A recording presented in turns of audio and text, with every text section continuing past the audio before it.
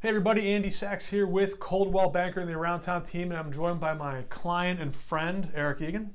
Good to see you. How are you, buddy? I'm doing great. Appreciate you joining me.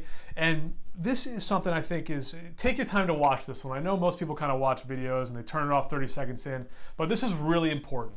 And Eric is the new uh, chair, Chair of the board of uh, the Women's Center of Greater Danbury. the Women's Center of Greater Danbury. I had no clue it existed. I had no clue what they did. I was so impressed that I actually joined the men's the men's group there. That I'll have my first meeting in February, I think it is. yes. Um, I was just blown away. Um, you, I think you, you kind of think that those these services exist. You don't realize where they are, and I certainly didn't realize the depth and breadth of what the Women's Center of Greater Danbury does for our entire surrounding community. So the Women's Center is our hero around town for January, Perfect. and I want to hear more about it. And again, watch this whole video and, and kind of kind of just let it sink in about the need that is out there for this service. So, um, you know, in, in the sake of that, we are a kind of a three minute video or so. Tell me the top three things the Women's Center of Danbury does. Well, uh, let me give you the top three things that I think are most important about the Women's Center of Greater Danbury. First of all, we've we've got a mission and a vision um, that I could uh, that I could lay out for you. It sounds very legal.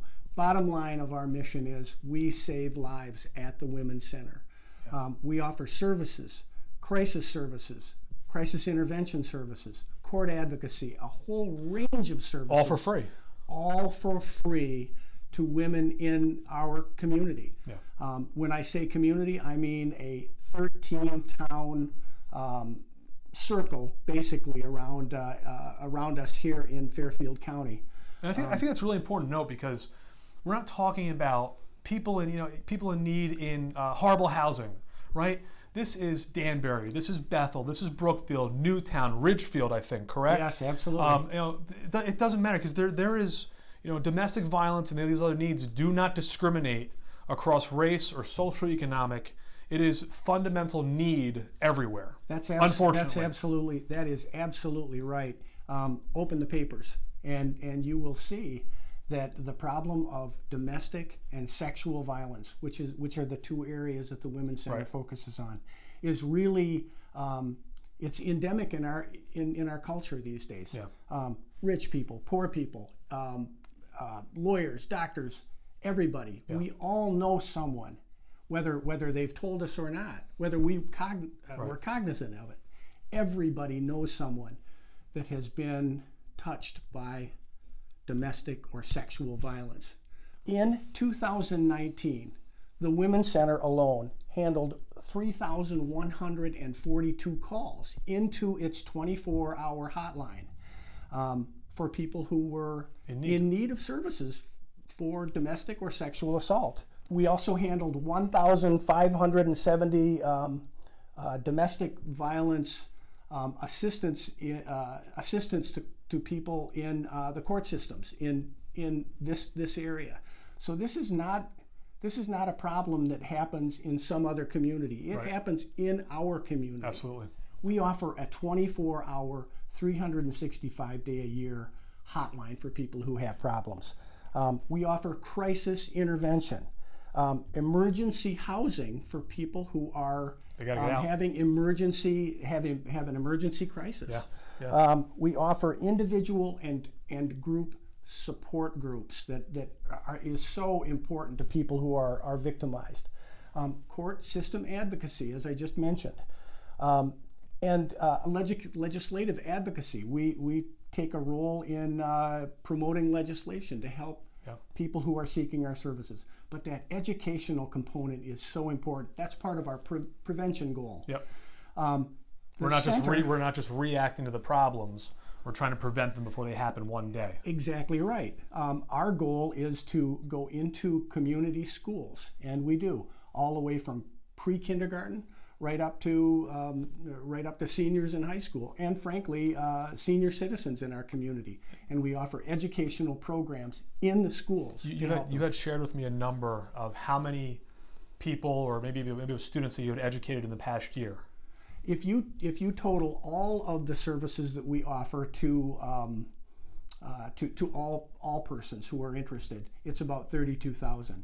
That's- that's incredible. It, it's about twenty two thousand of that uh, is um, is students in the schools. So that's a big part of what the center It's a does. big number. Yeah, that's it a big, that's a big effort for sure. I think the critical message we're trying to get is community awareness of, of the services that the center offers. Um, um, in, in terms of needs, what we have as needs, Yeah. um, we always we always need donations, Of course. but we also need volunteers. We we would uh, we would really benefit and have traditionally benefited from people in the community who are interested in helping us. We have a number of committees, uh, a governance committee, a budget and finance committee, uh, a marketing committee. P- people to- with a breadth of skill sets E- that want to contribute. and they can contribute by joining one of our committees. A small contribution of time, but would be extremely helpful. Yeah. How did you get involved in this? Um, as you know, Andy, my wife and I moved here about three years ago. We moved to the Newtown area. Yep. Um, we did so to help our daughter and son-in-law. They had had a baby and needed some some health care right about that time. I was retiring, and my wife Jean was retiring Yep. too.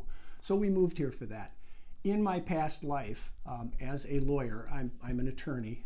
Um, in my past life, I was an assistant Michigan Attorney General assigned to the criminal division for part of my career. And in that career, I handled a number of domestic and sexual violence cases. And um, that instilled in me, I guess, a, a, a commitment to, to try and change our culture. Yeah, yeah, and it's it's great, you know, on a personal level, Eric. Um, you got here three years ago, and you, you kind of jumped right into the into the community. And Yeah. obviously, that's that's just kind of in you. I think. I think it's you're not one to sit by and do nothing anyway.